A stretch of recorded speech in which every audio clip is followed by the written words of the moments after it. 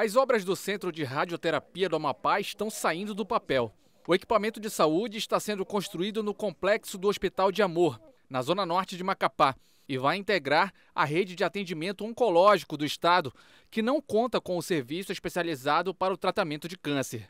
Nesta terça-feira, entidades que fiscalizam a gestão pública de saúde realizaram uma vistoria na construção para acompanhar o andamento do projeto. Uma obra esperada só eu trabalho aqui há 27 anos no estado e aguardo esta obra há mais de 20 anos. É uma felicidade ver esta, esta obra saindo do chão, essa maquete aqui mostrando que nós teremos aqui o nosso centro de radioterapia.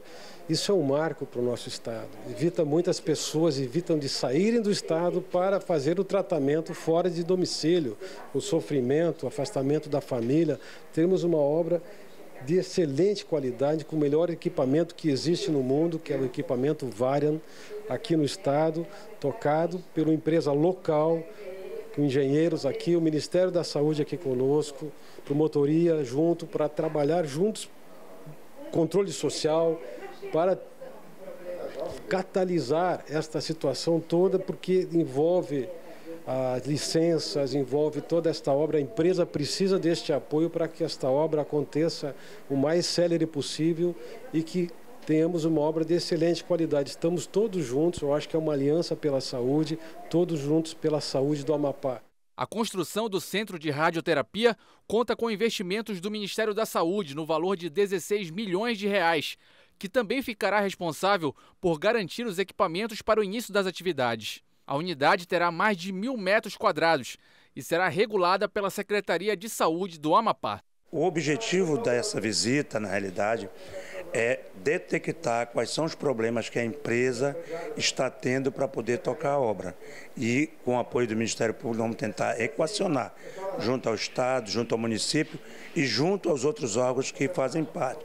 Por exemplo, como a CE Equatorial, a questão do entorno, tanto para a parte de água, a questão da a questão da pavimentação externa, ela é necessária andar para e passo com a construção da obra, para que quando a obra estiver pronta e construída, a gente não tenha que ficar esperando que isso seja feito. Não, vamos fazer logo tudo conjunto, a gente consegue. E o Ministério Público vai nos ajudar nesse sentido de cobrar dos nossos, dos nossos é, representantes aqui no Estado é, o empenho para que isso possa acontecer.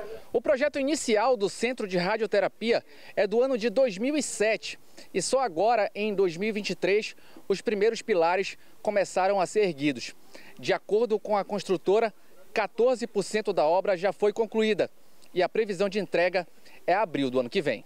É uma obra muito diferenciada e não é comum como obra residencial, obra industrial, certo? A radioterapia é um anexo de um hospital que vai tratar do câncer e trabalha, certo?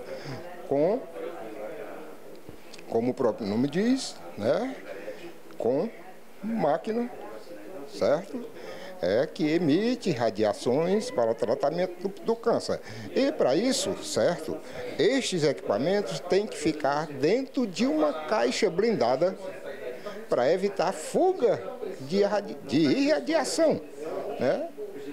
que nada mais seria do que fuga de átomos, né? fazem parte da irradiação.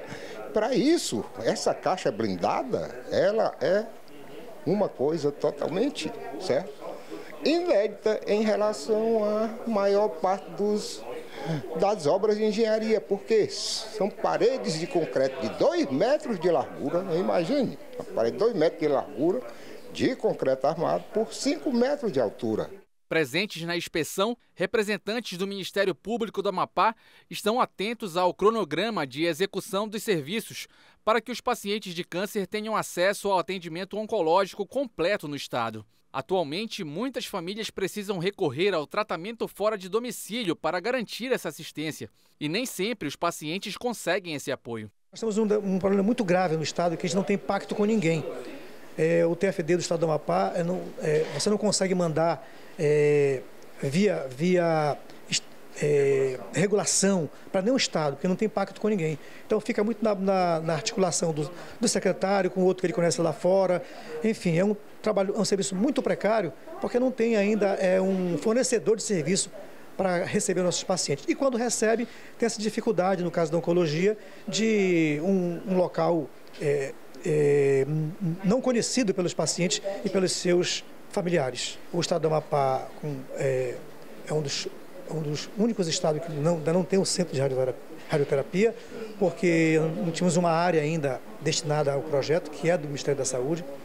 De sorte que esse acompanhamento aqui, ele é muito importante, não só pelo momento de hoje, que é a primeira vez que está vindo uma obra já nesse porte, né? mas principalmente para que ela não atrase e para que ela consiga atingir seu objetivo. Não vire, como se diz no popular, um elefante branco mais na frente.